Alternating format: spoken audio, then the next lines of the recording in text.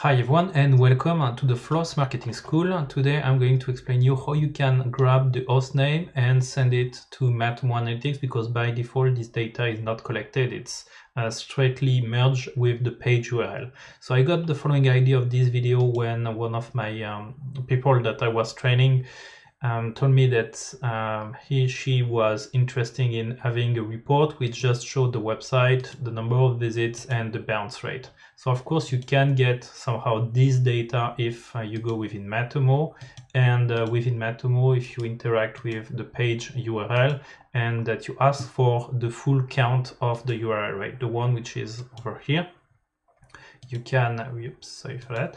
You can uh, here get uh, the total and know in fact uh, how many visits and page views and bounce rate have been uh, triggered for the given website. But as you can see you need on each time to display this given line and you get actually all those url and the only thing that you would like to get is just one line with the minimum of a metric so in order to make the host name appear, you can use a Matomo Tag Manager. So in order to do so, what you will do is that you will go over here on Tag Manager, then uh, you go to your container, and in fact, it's uh, within the variable uh, that you have assigned to your tag at the page view level.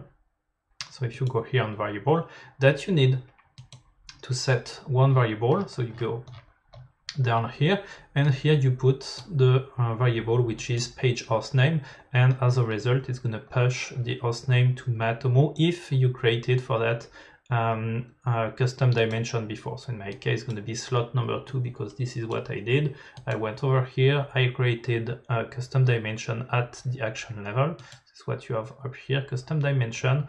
And here at the action level, I created one custom dimension which is named host name and as you can see it has nothing specific it's just active. So as a result every time in my case that a page view is going to be loaded it's going to push out the given host name so this is very useful for the previous use case that I show you just to have uh, the information regarding the host name.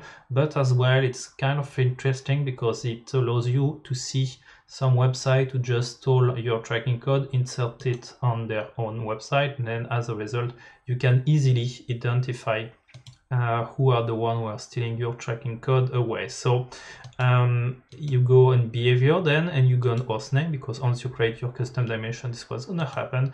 And if you go on the 22, as you can see here, I will get uh, all the different host name which are hosting my given tracking code. So normally you will just get your tracking code over here.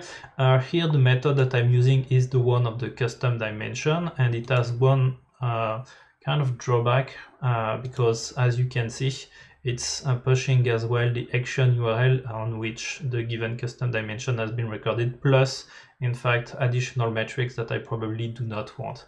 And the issue with that is when you define it with the custom dimension is that if you create a report, so in my case that's going to be in email reports and then if I look at uh, at this one you will see yep sorry for that again you should have selected the given day you will see that you have uh, more data than you want because in fact it's automatically uh, flattening the report and as a result you get uh, all the URL like this. It's not very uh, useful. So, uh, I mean, it's not very beautiful. So in order to avoid this, what you need to have is the custom uh, reports plugin, which is a premium feature. And then when you decide to create your report, what you do is that you go over here, you assign the custom dimension, which is the custom dimension host name, and then you just select visit and bounce rate.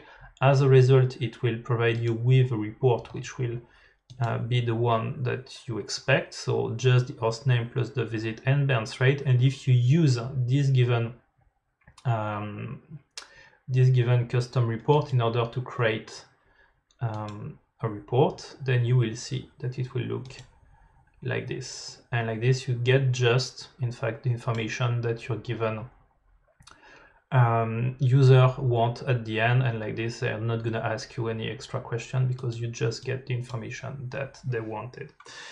Once more, uh, thank you very much uh, for your attention. Uh, please feel free to practice and create your own custom dimension. Thanks to uh, Matomo and Matomo Tag Manager in order to push host name and as a result you will know if your Matomo have been hacked and as well uh, to be able to create some easy reports. Once more, thanks for watching. Do not hesitate to create your own video and share them on social network.